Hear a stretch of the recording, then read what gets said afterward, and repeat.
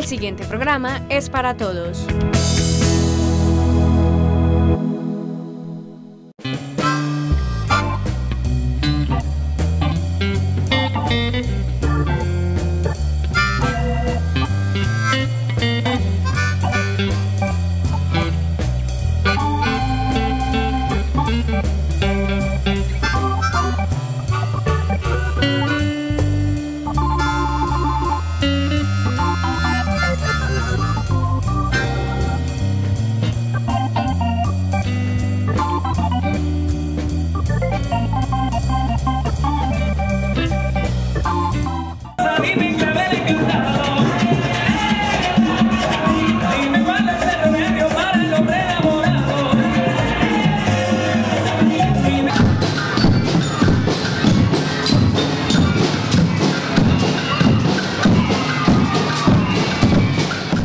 Carnaval cativo es mostrar, eh, mostrar experiencias, mostrar máscaras, eh, un, hacer, mostrar un cambio pues, en el modo de, de, diversión que podemos hacer nosotros aquí en las fiestas cativas.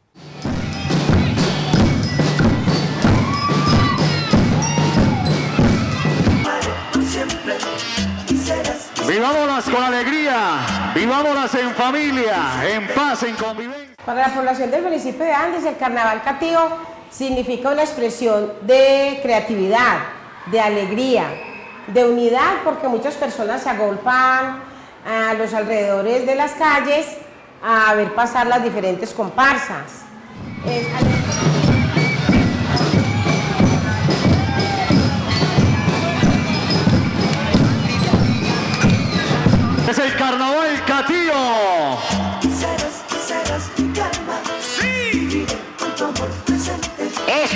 Que vienen acá son Aire Star. Hola chicos de Aire Star. Ya hay representaciones institucionales, hay representaciones de, de los indígenas, de la población afro, de las diferentes manifestaciones alegres y expresivas.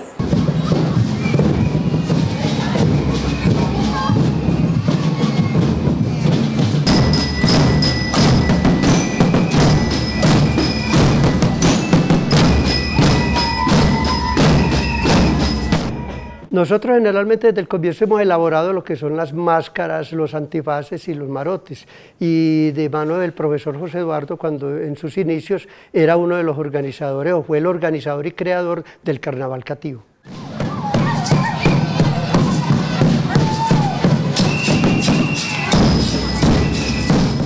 El carnaval se ha convertido en un espacio de encuentro, de alegría, de expresión, de creatividad, de color, de danza, de compartimiento.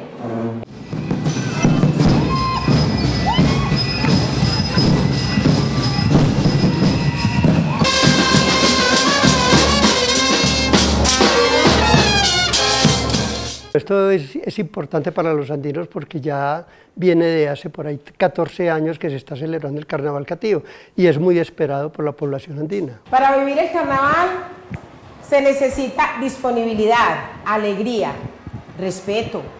Yo debo respetar la manifestación del otro y, admirarla y compartirla si me es posible.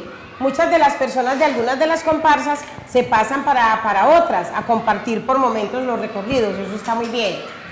Lo primero es la disponibilidad, la alegría y el deseo de compartir, respetando las manifestaciones de cada comparsa. Los andinos somos, son muy efusivos, ¿cierto? Entonces, y les gusta botarla, botarlo todo en un carnaval, disfrutarlo. Carnaval se lo tiene uno que gozar desde que salió hasta que llegó, ¿cierto?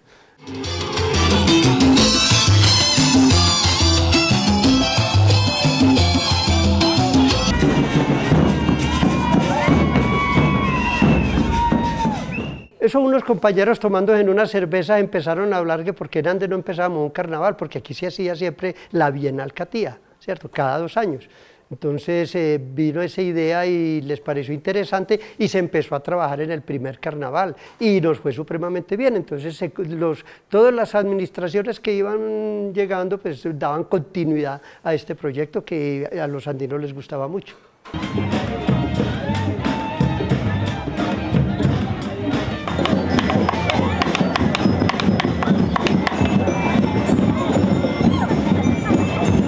Que nosotros quisimos hacer, hacer el carnaval por, por el carnaval de Barranquilla, por el carnaval de Río Sucio. Claro que para hacer un carnaval se necesita buen, buen dinero, ¿cierto? Afortunadamente las alcaldías nos han colaborado mucho, pero ustedes saben que es poco lo que puede hacer también una alcaldía pues, para, estos, para estos eventos que son demasiado costosos. Pues muchas veces no tienen la capacidad para, para poder apoyar estos eventos que son muy importantes, pero que quieren apoyarlos, sí.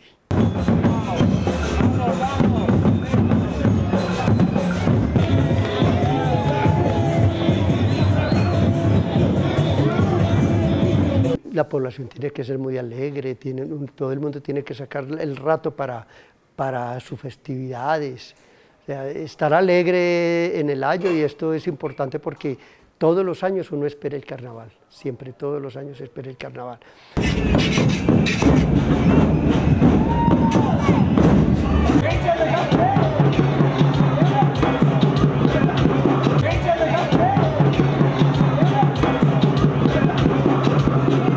Una máscara es, eh, es un símbolo, es una representación de algo, o es el otro yo que nosotros queremos sacar, Que, que, se conozca.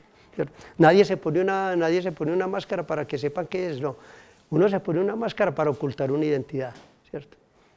que nadie quiere, y así entonces uno hace lo que quiere, nadie lo conoce, uno hace lo que quiere, se desborda uno de alegría, se desborda, no le da pena de nada, entonces uno se enmascara en, en, estos objetos.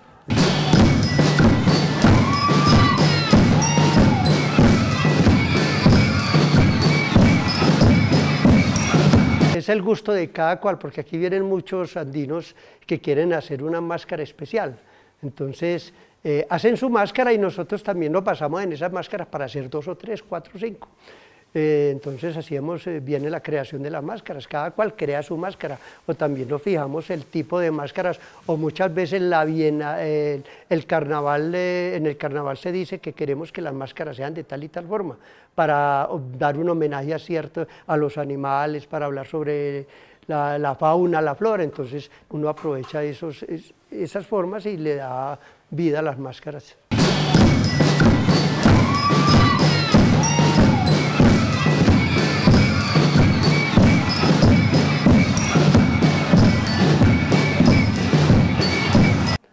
Esta mariposa la hacemos por medio de una impronta que se hace de icopor, ¿cierto? Esa, impronta se le da una forma al icopor, se talla el icopor, se le pone un papel y sobre esa impronta empezamos nosotros a, hacer las otras improntas para hacer las máscaras.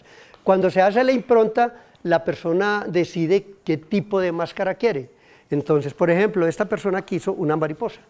Entonces nosotros hacemos una mariposa en icopor y la pegamos a la impronta, de tal manera que los ojos queden eh, generalmente quedan en la parte baja. Entonces la máscara queda muy alta, queda grande, entonces se ven, se ven majestuosas. Es como los marotes, el marote se ve majestuoso, grandísimo, alto, pero la persona está mirando es por acá, por el pecho de la, ropa del, del, marote. Entonces mira que es muy fácil de hacer.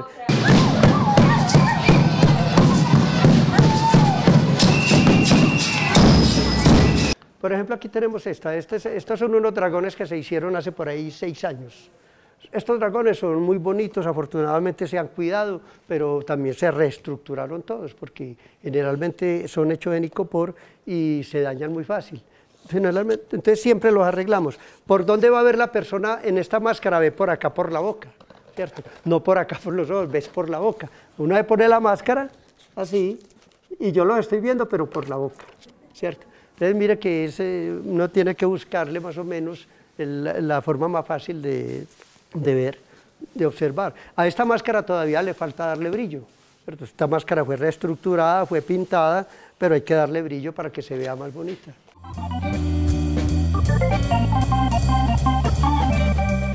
Es una lástima que parte de la población, así sea mínima, no valore, no valore ni respete en su integridad eh, la manifestación del carnaval porque mientras muchos salen a aplaudir, a avivar las comparsas, a apoyarlas, otros salen a dañar, a insultar y a ultrajar las personas que, están en las diferentes comparsas, tirándole huevos, tirándoles maicena, harina, cal. El año pasado tiraron cal. hubo gente que se le peló el cuello.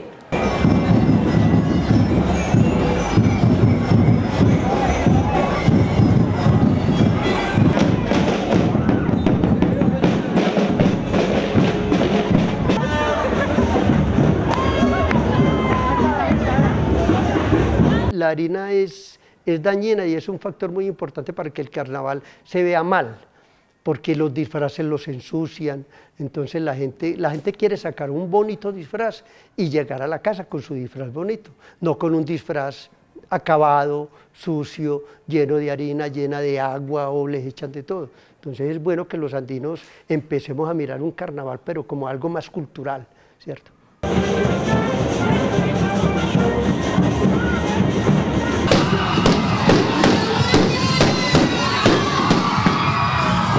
Nosotros, por ejemplo, es que tenemos trenzas, cuando tiran ese tipo de cosas como huevos, nos tenemos que desbaratar el peinado porque la, harina eh, se pega de tal manera que cuando uno la moja, eso se vuelve una colada.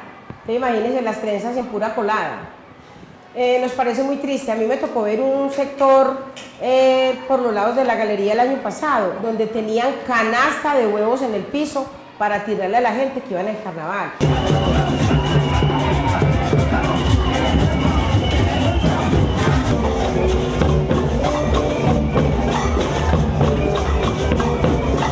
Nosotros hemos tratado al máximo de, hacerle entender a la gente que esa no es la mecánica.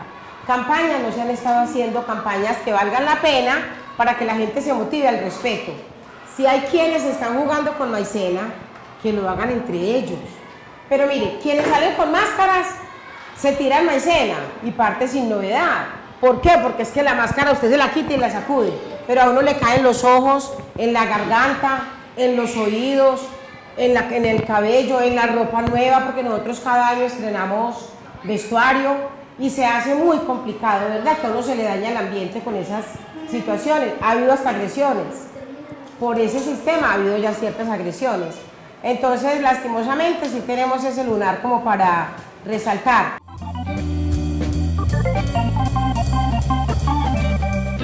Andes es uno de los municipios donde más se trabaja eh, la cultura, ¿cierto?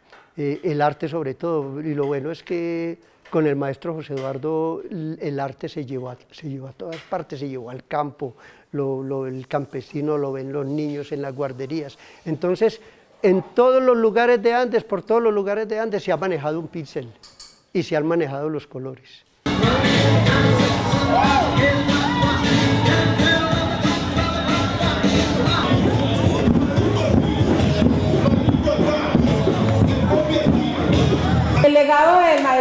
Eduardo eh, es de reconocimiento, de, reconocimiento y de autorreconocimiento.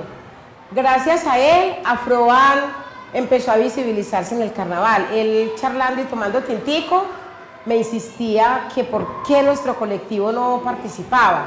Yo lo veía como, como difícil, como algo muy raro, porque era una, eran unas fiestas municipales de la, de la, de la región de, digamos, del suroeste.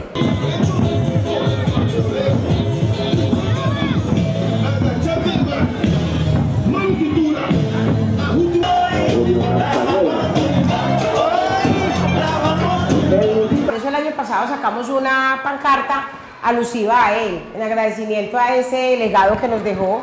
Fue un legado de color, de alegría, de unidad, de trabajo, de manifestación. Eso dejó José Eduardo, el gran maestro. Un legado de creatividad.